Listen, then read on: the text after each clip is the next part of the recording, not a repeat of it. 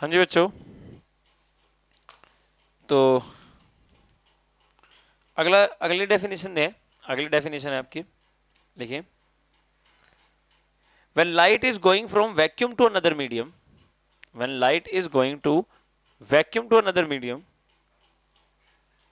when light is going from vacuum to another medium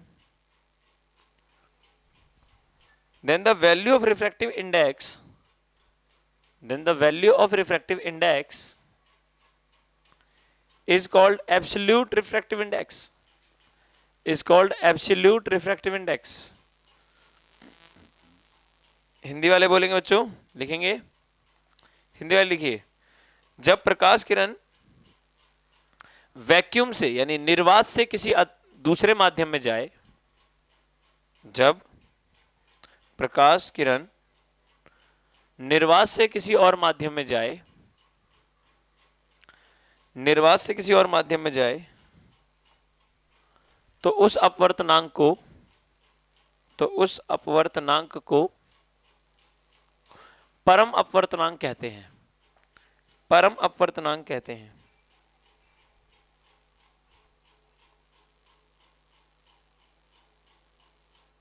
ठीक है? ये फॉर्मूला तो आपने उतार लिया होगा, और इस वाले का क्या होगा? ठीक है? इस वाले का फॉर्मूला क्या होगा? भाई, अब की बार मीडियम वन से नहीं जा रहा, अब की बार जा रहा है वैक्यूम से।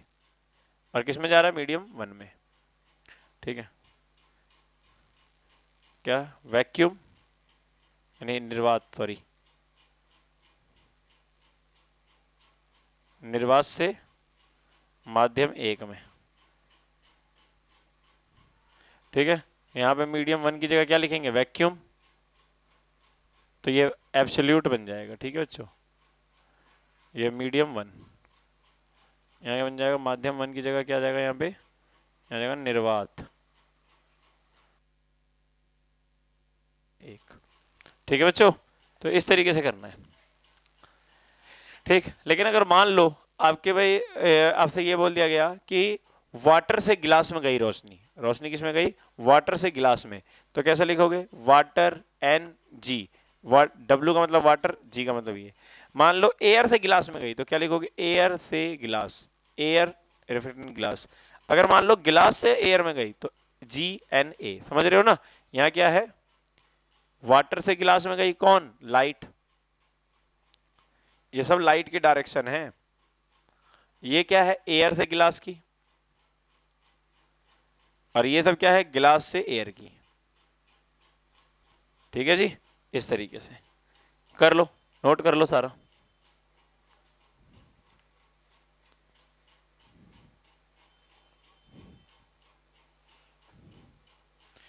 और इसके बाद हम पढ़ेंगे।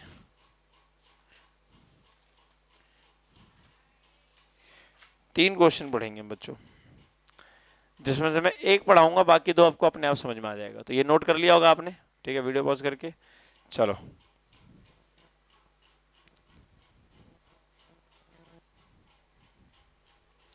चले बच्चों। तीन टॉपिक का नाम लिखेंगे, जिसमें तीन में से एक मैं जैसे ही कराऊँगा, बाकी के दो आपको अपने आप समझ में आना शुरू हो जाएँगे क्या कहना चाह रहे हैं।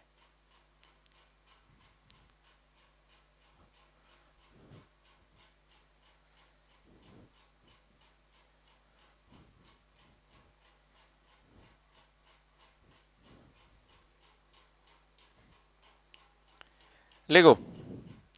तीन पॉइंट हैं, लिखो पहले, पहला लिखो। अ स्टिक अ स्टिक और अ पेंसिल अ स्टिक और a pencil partially immerse in water partially immerse in water partially immerse in water appears to be bent appears to be bent at the water surface appears to be bent at the water surface. ठीक है? सात सात आठ line छोड़ के आठ क्या, दस पंद्रह लाइन छोड़ दो, क्योंकि फिर फिगर भी बनानी है, सब कुछ है। या तीनों टॉपिक एक साथ लिख लो, फिर करते रहना। दूसरा टॉपिक लिखो an object placed under the water या ऐसा लिखो प्लेस में लिखो an coin a coin a coin placed under the water a coin placed under the water appear to be raised appears to be raised appears to be raised और तीसरा लिख दो a pool of water a pool of water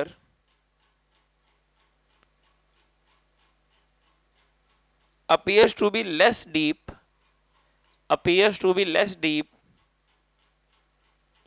appears to be less deep deep d double e p then it then it actually is then it actually is Hindi वाले हिंदी वाले लिखेंगे तीन तीनों point लिखेंगे लिखिए कोई छड़ या पेंसिल कोई छड़ या पेंसिल पानी में आंशिक रूप से डुबाने पर, पानी में आंशिक रूप से, ठीक है, आंशिक लिखना, आशिक मत लिख देना, आंशिक आंशिक रूप से डुबाने पर, आंशिक रूप से डुबाने पर,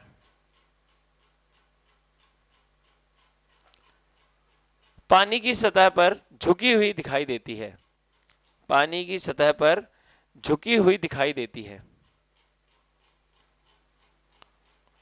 और दूसरा दूसरा पॉइंट दूसरा पॉइंट पानी की गिलास में, पानी के गिलास में यदि कोई सिक्का डाल दिया जाए, सिक्का डाल दिया जाए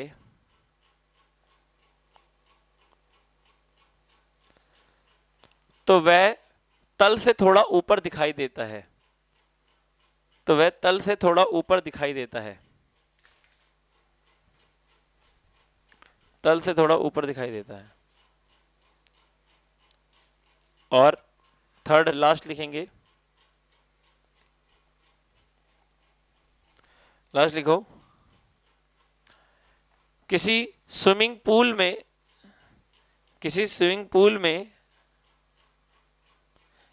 ऐसा लिखना, किसी पानी से भरे स्विमिंग पूल में, ऐसे लिखो सॉरी किसी पानी से पानी से भरे स्विमिंग पूल में, किसी पानी से भरे स्विमिंग पूल में देखने पर, वह कम गहरा प्रतीत होता है। वह कम गहरा प्रतीत हो होता है।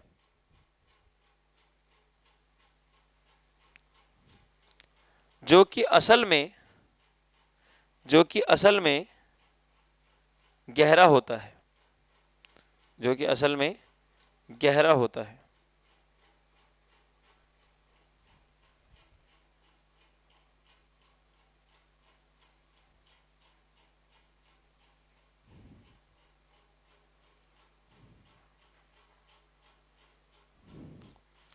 ठीक है बच्चों?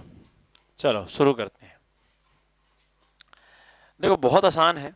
ठीक है, मैं तीनों बना के दिखा देता हूँ अगर ऐसी परेशानी है। फ़र्स्ट को अगर मैं बनाऊँ, देखो। ये मान लीजिए आपके पास हो गया कोई बीकर या कोई भी गिलास विलास जो भी होगा। छोड़ो ना, इसको क्या बनाना समझ गया होगे। ठीक है?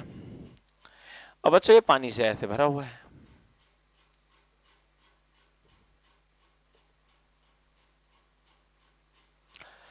और इसमें मैंने मान लीजिए कोई स्टिक या कोई पेंसिल इसके अंदर मैंने ऐसे डाल दी। ठीक है? लेकिन आप कभी देखना, किसी पेंसिल को या किसी स्टिक को पानी के अंदर डाल दोगे ना, आप थोड़ा सा डुबा दोगे मतलब ऐसे आधी आधी से ज़्यादा तो पेंसिल आपको थोड़ी सी झुकी हुई दिखेगी। तो ऐसा क्यों होता है? क्योंकि देखो, मान लीजिए आप यहाँ से देख रहे हैं ठीक है देख रहे हैं। तो आप जब देखेंगे तो बच्चों, ये हवा है। तो ये मीडियम कौन सा हुआ? रेयरर एयर जो हुआ, वो रेयरर मीडियम हुआ। किसके किसके कंपैरिजन में? वाटर के कंपैरिजन में।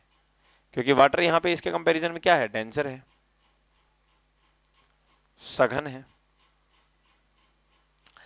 अब बच्चों, जैसे आपने इसको देखा, ऐसे तो आप तो इसके पॉइंट को देख रहे हैं। तो ये रेयर से जब डेंसर में करेगा तो क्या होगा? टूवर्ड्स दी नॉर्मल होगा कि नहीं होगा? सही बात है। फिर इसी तरीके से पूरा पॉइंट आएगा इस तरीके से, क्योंकि जब देखोगे तो सारे हर हिस्से से देखोगे ना। और ये भी बेंट होके इधर आ जाएगा, मिल जाएगा। तो ये ऐसे गया, ये ऐसे गया, ये ऐसे गया।